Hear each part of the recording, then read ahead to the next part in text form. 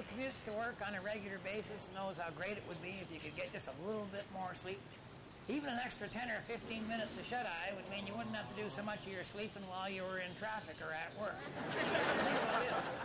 Instead of having to get up early to make your coffee at home or allowing time to stop at the busy drive-thru, I'm going to show you how you can make your own coffee while you're on your way to work.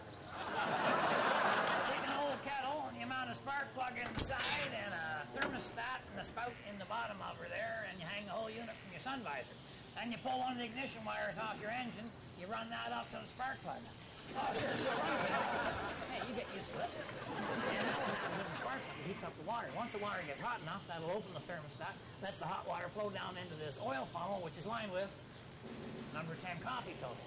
Now you just fill her up with your favorite blend, and by golly, you're on your way. And you'll see I got the other end of the funnel positioned over my coffee mug, which is mounted in the handyman's secret weapon temple. of course, you have all this preset the night before, so you can sleep in that extra little bit in the morning. Come in, you pull out of the driveway, and as soon as the engine warms up,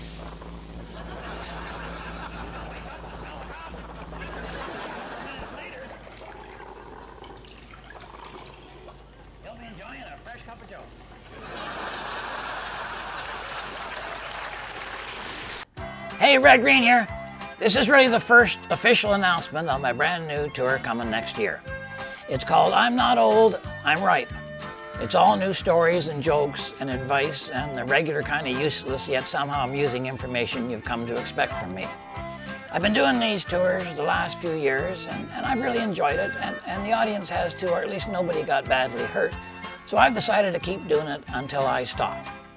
Now for this latest tour, we haven't finalized all the details yet, but I'll tell you what I know, and as usual, that won't take long. For the US part, it's going to be starting around the end of March and end up probably the middle of May.